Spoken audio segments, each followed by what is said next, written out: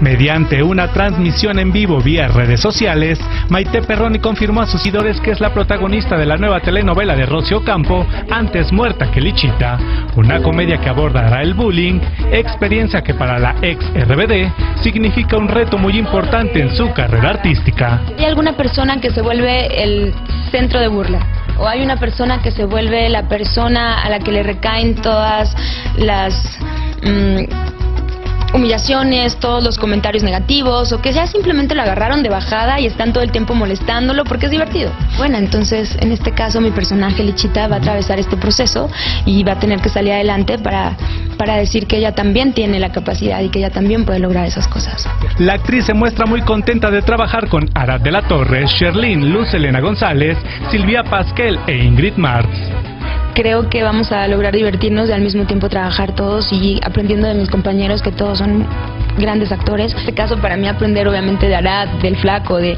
de bueno, de todos, Silvia Pasquel, estaremos todos, bueno, pues trabajando en nuestros personajes y, y entrando en este tono de comedia que para mí es algo nuevo, pero que me encanta, me encanta hacerlo.